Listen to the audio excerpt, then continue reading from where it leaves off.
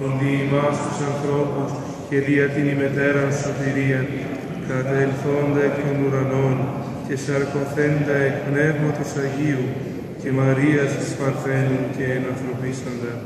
σταυρωθέντα δε ημών επί ποντίου Πιλάτου, και παθόντα και ταφέντα και αναστάντα την τρίτη μέρα κατά τα και ανελθόντα εις τους ουρανούς και κατελθόντα